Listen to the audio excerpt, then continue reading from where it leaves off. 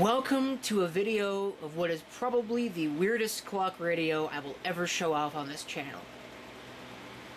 Now on the surface, you're probably looking at me going, well, why is it weird? We'll get into that. On the surface, at least, it doesn't look too weird. I mean, it's a Sony, after all. I mean, it is analog. Usually when you buy a clock radio, you don't buy one that's got an analog face on it. But, I mean, that's not too weird. Got an alarm mode switch on this side, plus a DC 3 volt input that I do have the proper power supply for. See on the back, uh, there's our model number, model ICF A15W.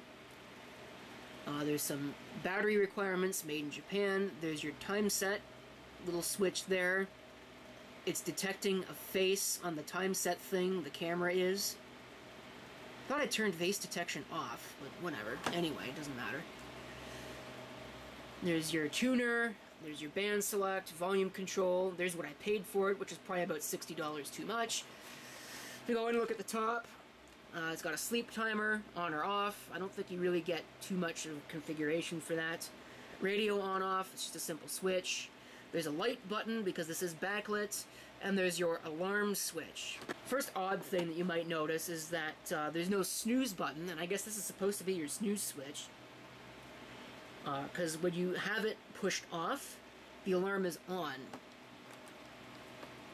Which I think is weird. It's not the same for the radio, which we'll demonstrate in a minute. There, of course, is your band. Again, nothing too strange there.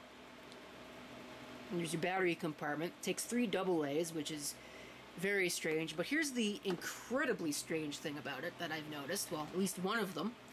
You can see that this is plugged in right here, and if we follow this wire, come all the way over here. You see we have a Sony power supply here, which appears to be plugged in. And yet, if we take a look at it, the clock is not moving. Also, the light's not working. The radio works, though. So, what's up? Well, Nora, I actually thought that it was broken at first, but as it turns out, you actually need to have a battery in the clock compartment here, these two control the radio, which I believe it says. You might be able to make it out that it says radio there, so you can run it without this 3 volt input. But this 1.5 volt battery is required to make the clock work. Same deal with the light. Now, I don't think that's a particularly useful light, but it's there, I guess, nonetheless.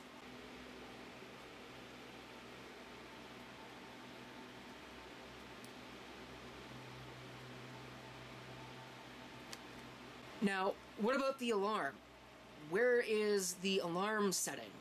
And how do you set the alarm on this? Well, watch what happens when I twist this face.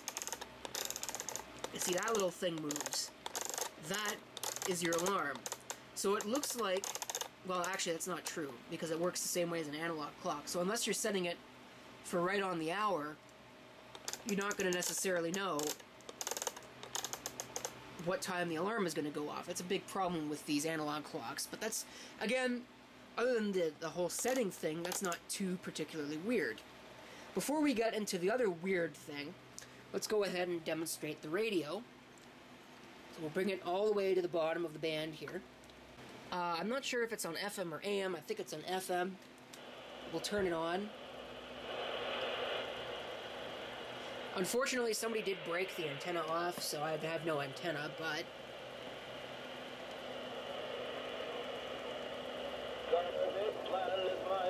Maybe it's right at the right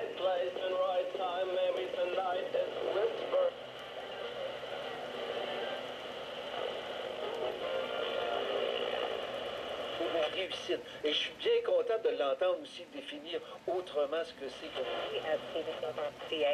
And you can catch up on stories you may have missed.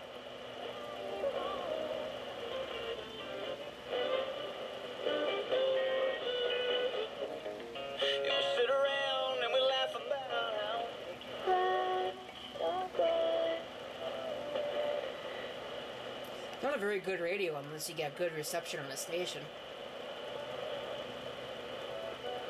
Moderate reception sounds like crap.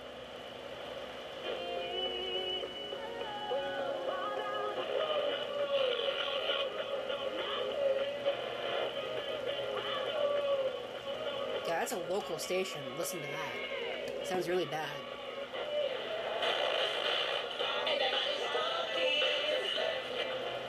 Now, this is a direct response. Almost sounds like AM.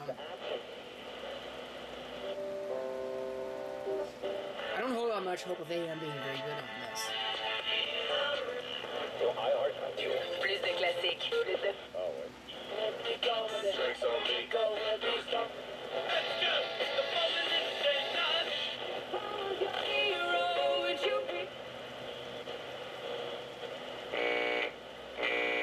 But yet it picks the interference up very well. Go figure. Switch it to AM.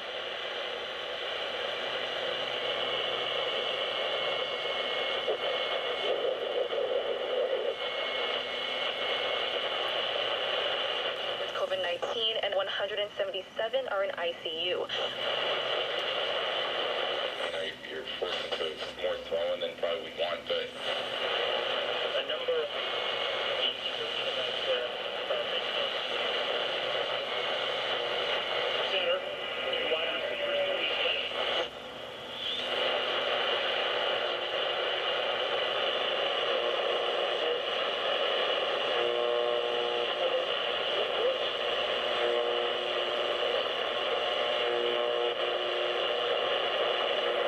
Through flooring, Alex Zanian has you...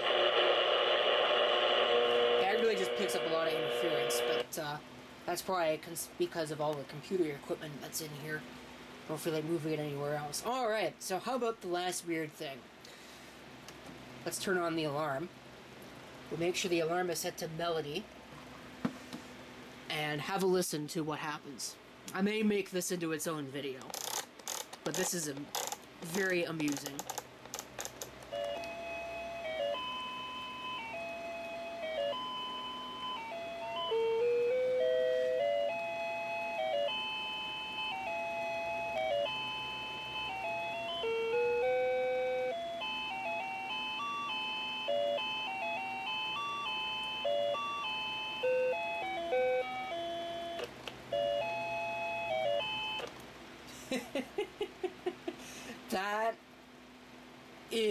Weird to not put too fine a point on it. And they expect you to actually wake up to that. I'm sure somebody can.